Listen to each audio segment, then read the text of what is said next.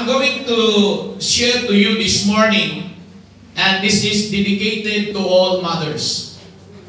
But even though you are not a mother, some of you are young people, praise God, some of you are men who are with me this morning, I will assure you that at the end of this message, praise God, Jesus, hallelujah, emphasizes that all can be a mother. Yes. All can- Even men. I will assure you. Praise God. I will show you the scripture. Everybody shall praise the Lord. So parang nagdududa kayo mga kapatid ha? I do Praise. God. Have you ever greet your mother this morning? I tried but I failed because there's no signal in our place. Praise God. Hallelujah to greet our mother, our mother-in-law. Ang lahat ng may mga mother-in-law, itaas ang kamay.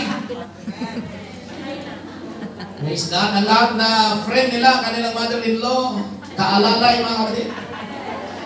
Praise God. At friend din nila ang kanilang mother. Ang kamay. Praise the Lord. There are eight mothers in the Bible play a key role in the coming of Jesus Christ. None of them was perfect. I repeat it again. None of them was perfect. Yet, each showed strong faith in God. And God in turn rewarded them for their confidence in Him. These mothers lived in an age when women were often treated as second class citizens. Yet, God appreciated their true value and worth, just as He does today. Motherhood, everybody shout motherhood, is one of life's highest calling for women. So learn how these eight mothers in the Bible put their hope in the God of the impossible and how He proved that such hope is always well placed. Everybody shout amen. The first mother that I'm going to share to you this morning is no other than Eve. Praise God. Eve is the mother of all the living. If you are breathing today, your very mother at the very beginning of the story of humanity goes back to Eve. Eve was the first woman and the first mother. Without a single rule, model, or mentor, she paved the material, maternal way to become mother of all the living. Her name means living thing or life. That's the meaning of Eve. Praise God. Living thing or life. Since Eve experienced fellowship with God before sin and the fall, she probably knew God more intimately than any other woman after her. Before sin and fall, Eve was talking to God. If there is a woman in the Bible, no one can beat Eve. Hallelujah. I repeat it again. Since Eve experienced fellowship with God before sin and the fall, she probably knew God the more intimately than any other woman after the fall in Garden of Eden. Everybody shout amen. She and her mate, her husband Adam, lived in paradise. But they spoiled it by listening to Satan instead of God. Eve suffered terrible grief when her son Cain murdered his brother Abel. Yet despite these tragedies, Eve went on to fulfill her part in God's plan of populating the earth. The first mother also suffered and experienced sorrow and pain in his heart when their own children, praise God, hallelujah, when Cain killed Abel. What a pain in the heart of a mother. Everybody shout, praise the Lord. The number two mother that I'm going to present to you in the Bible that have the key rules in the coming of Jesus Christ is Sarah. Everybody shout Sarah. The wife of Abraham. Sarah was one of the most important women in the Bible. I said, one of the most important women in the Bible. She was the wife of Abraham, which made her the mother of the nation of Israel. She shared in Abraham's journey to the promised land and all of the promises God would fulfill in the particular land of promise. Sometimes we lift up we lift out Sarah in the story of faith of Abraham. But don't you imagine, hallelujah, when the Bible said Abraham went to a country that he did not even know, yet his wife trusted her, his, uh, her husband. That's a very difficult decision for women. Yes. When Sarah asked her husband, Dad, where are we going? And Abraham would just answer, I don't know. We will just follow God and we will walk by faith. So when Abraham walked by faith, do you think Sarah did not walk by faith? Yes. Everybody shout amen. Yet Sarah was barren. Baog oh, si Sarah. She conceived through a miracle in spite of her old age. If you are now in an old age, just pray for a miracle. I told Sister Pink, I think we need one more girl so that we'll be balanced. And she answered me, I am already old. she was a good wife. Sarah was a good wife. A loyal helper and a builder with Abraham. Now think about this. Abraham is well known in the Bible, says 13, an altar builder. Abraham always built an altar. And out, praise God, of the sin, it was not written by Moses. Hallelujah. Just imagine with me the role of his wife, Sarah, with him. Her husband made an altar or built an altar. Sarah was there. Sarah may be an assistant. Hallelujah. To put stones. Hallelujah. To, to, to file the woods. Praise God. But it was not written. Because sometimes mother, praise God, working behind the scene. Everybody shall amen. Hallelujah. Her faith serves as a shining example for every person who has waited on God to act. Sarah's example, praise God, is a shining pattern or template for every mother who are here today. Hallelujah. To wait on God to act. Wait on God to act. And Isaiah said, They that wait upon the Lord, mothers should renew their strength. Clap your hands. Hallelujah.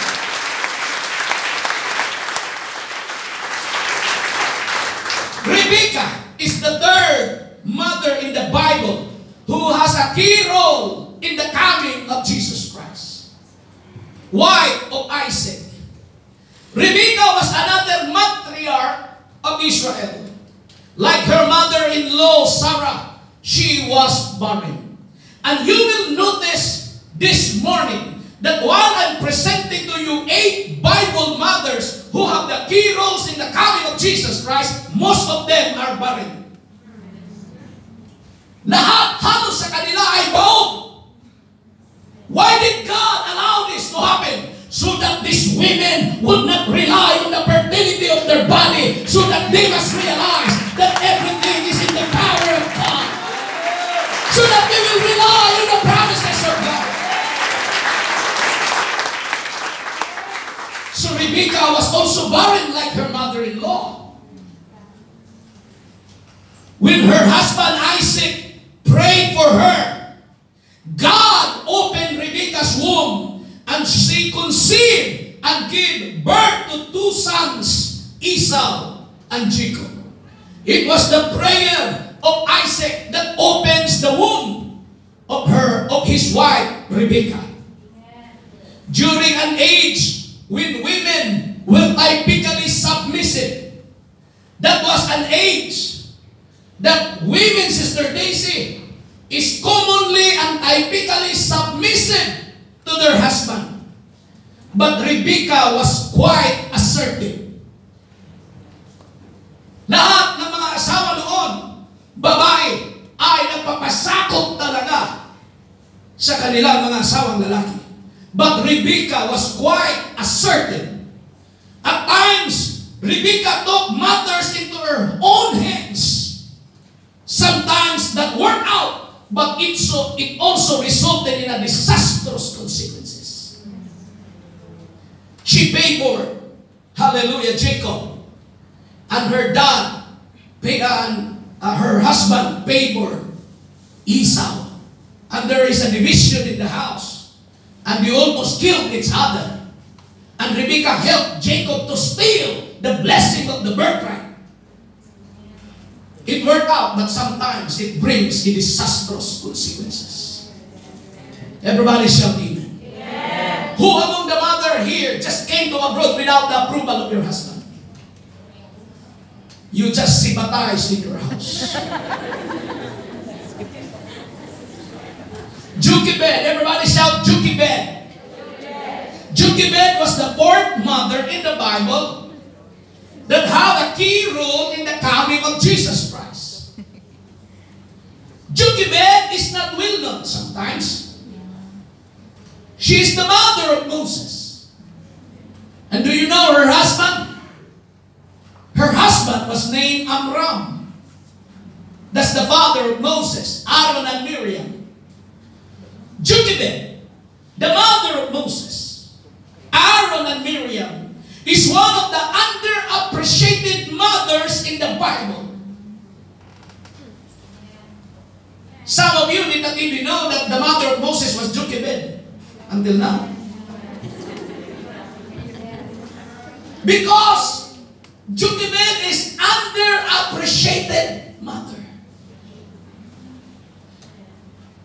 So if you are an underappreciated mother of all your door-to-door, don't worry.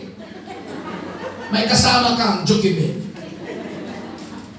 Sometimes, hallelujah, you have done your part. You have done all your effort to build your house, to buy house and lot, to establish a business there. You send a lot of capital. Until now, you are not appreciated of all you have done. Yeah. Welcome. Jochebed is with you.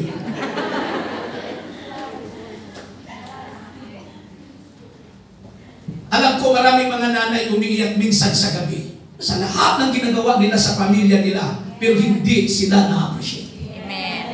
Right. O tumatango-tango, ibig sabihin isa pa kayo doon.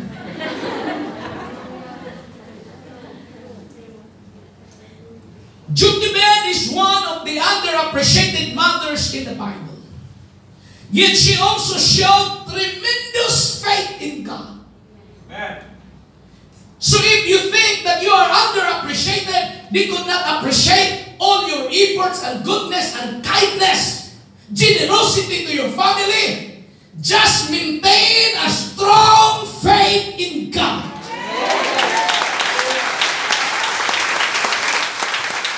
Come on, some more.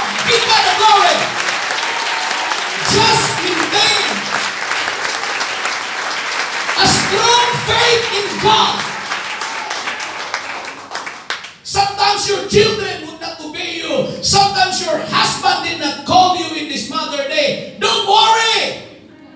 Just maintain a strong faith in God.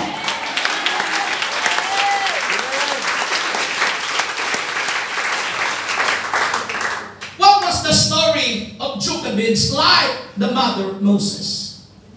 To avoid, to avoid the mass slaughter of Hebrew boys during the time of that evil Pharaoh, she set her baby adrift in the Nile River, hoping someone would find him and raise him. God so worked that her baby was found by the Pharaoh's daughter.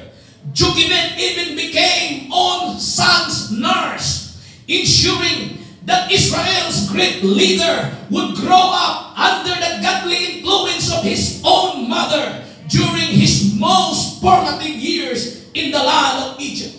Just imagine with this, the Pharaoh declared, all boys aged two years old under will be killed. And this Jochebed, hallelujah, if you are that Jochebed, do you have the guts, hallelujah, to let your baby and drink in the Nile River? That Nile River, they said that it was infested, praise God, with so many crocodiles. But Jochebed, the Bible said, when they saw Moses, that he was a proper child, a handsome child, hallelujah. They have faith in God to let the baby and dream. praise God, in Nile River. Do you think if you are that mother, you have that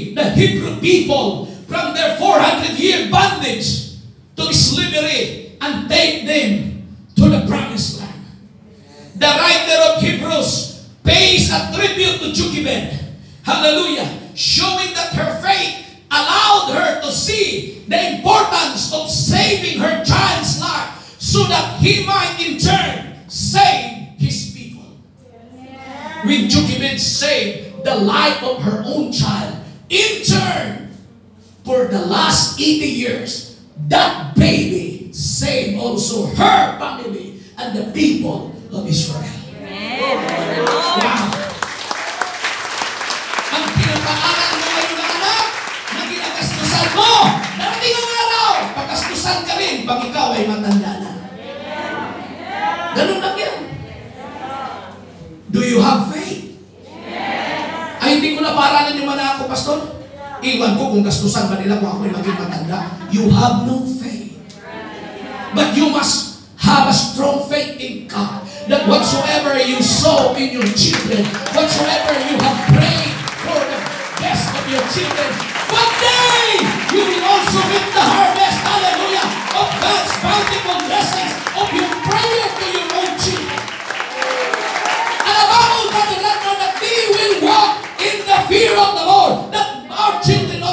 will serve Him. Although little is written about Jochebed in the Bible, her story speaks powerfully to mothers of today. The writer of the book of Hebrews gave a tribute to Jochebed. Can be found in Hebrews 11:23, and this is what the Bible said. By faith, Moses, when he was born, was hid three months of his parents. This is the only verse in the Bible that give a tribute to Jochebed. Did not even mention the name of his father and the name of Jochebed. But the writer of Hebrew pays a tribute. Hallelujah. Hallelujah. Declaring the faith of his parents. Why did Jochebed Hallelujah. Have this kind of guts. Of all Jewish mothers, they just watch their children being cut by the sword of Pharaoh's army. They just watch their little baby boy beheaded by the army of Pharaoh. But Jochebed said, No, no, no, no. I will not allow my son to be killed by the armies of Pharaoh. Why? When he when she saw the child, this is what the Bible said. Because they saw he was a proper child. He was a proper child. And they were not afraid of the king's commandment. Did you see the faith of Jochebed? They were not even afraid of the king's commandment. Why? Her faith is very strong in God. Clap your hands to the Lord.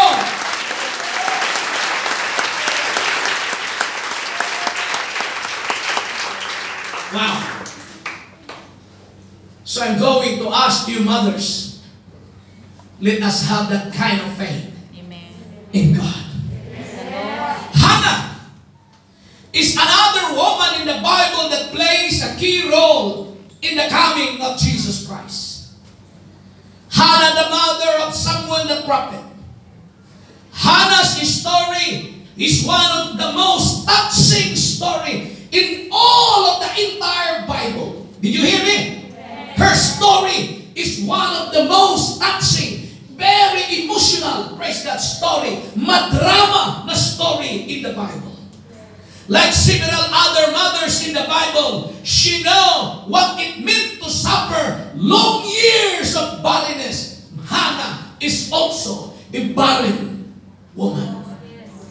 I hope you have noticed this morning the lines and the presentations of names, hallelujah, that have done key roles in the coming of Jesus Christ. How they have become so faithful and how they put their trust in God, even though they know exactly that they were not able to bear children. But yet, history, praise God, tells us, hallelujah, that even the physical, physical difficulties and deficiencies, it still proves that God is a miraculous.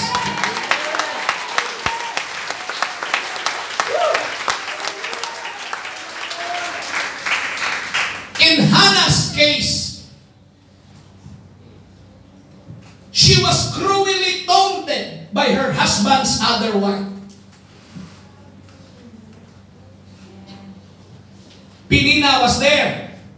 She always taunted Hannah. But Hannah never gave up on God. It did not say Hannah did not give up to her husband. No, no. Hannah did not give up on God. Finally, her heartfelt prayers were answered. This is a picture that a mother, hallelujah, that is strong in faith, have also a strong connection to God in terms of prayer. I repeat again, mothers should have a strong connection to God in terms of prayer. Her heartfelt prayers were answered. She gave birth to a son, Then did something entirely selfless to honor her promise to God.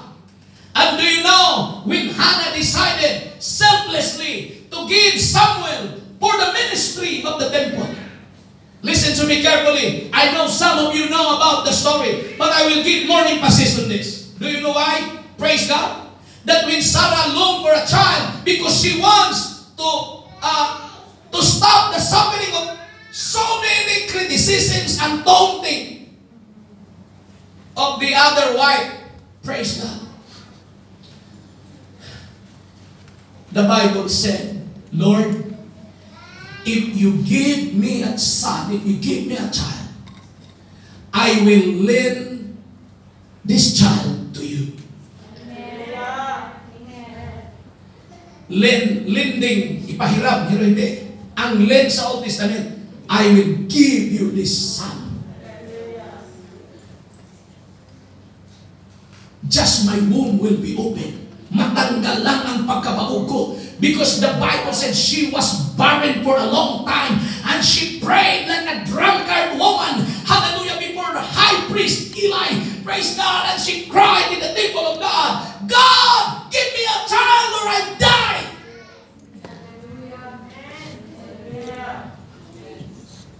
Wala naman siguro nag-pray dito na, Lord, give me a husband or I die.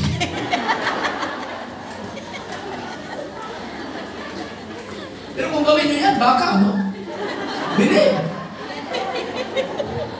Mawag na lang, sige, Pastor Plaza, may iiyak dito. Lord, give me a husband or I die. I will on you. So Hannah prayed for a son. When God answered him a son, what did she do? She bring the child. She gave the child to the temple. Praise God, to be a priest, an assistant. And you know what happened? He became the greatest prophet in the history of Israel. Now look at this. When Hannah gave the child Samuel back to God. God saw, nakita ng Diyos, ano, wala ka ng bata, binigay mo na sa akin. What did God do? Listen to this. God favored Hannah again with, with five more children, Oh, bringing great blessings to her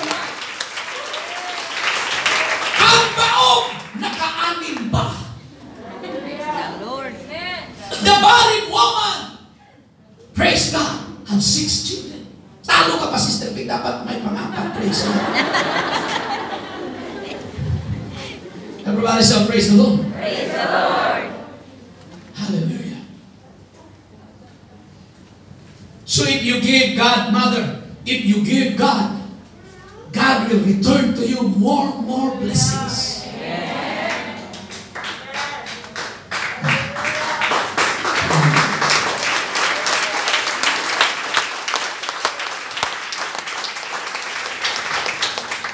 Bathsheba. Who heard the name Bathsheba?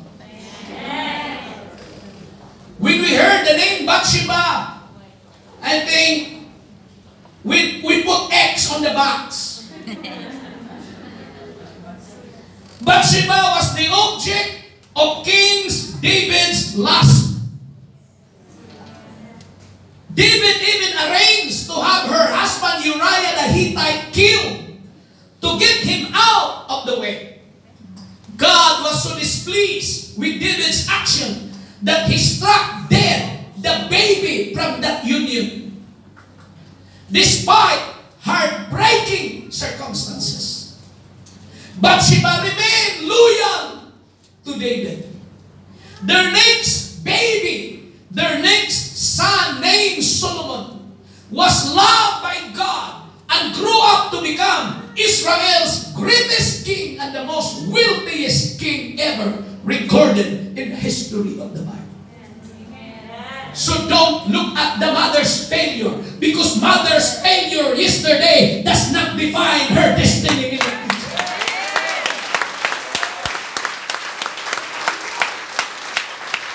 Kung ikaw single mother, mga kapatid, dahil na disgrasya o miscalculations, hallelujah, of some, praise God, very important decisions in life, what happened of your past does not define the success in the future. As long as you maintain your strong faith in God. Clap your hands to the Lord.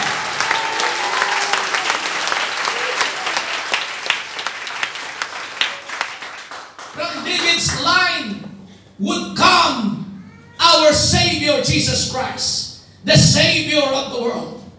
And Bathsheba would have distinguished honor of being one of the only five women listed in Messiah's ancestry. Can you believe that? Bathsheba have sinned with David because they have this sexual sin. And David murdered Uriah the Hittite by a certain instruction to King uh, to the general Joab. And God was so displeased of what David had done. And God killed the baby inside the womb of Bathsheba. But here's the key. Bathsheba remained loyal to David. And the next baby that come, his name was Solomon. And Jesus Christ comes from that lineage. So even though, no, I, I repeat it again. No one of these eight mothers is perfect. Yes. No one is perfect. But because of their strong faith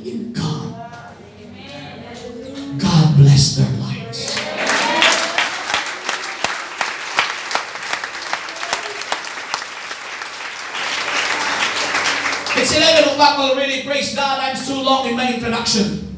Elizabeth. Elizabeth is the mother of John the Baptist. Barren in her old age. Wow, another barren woman? Yes, another barren woman. But they put their hope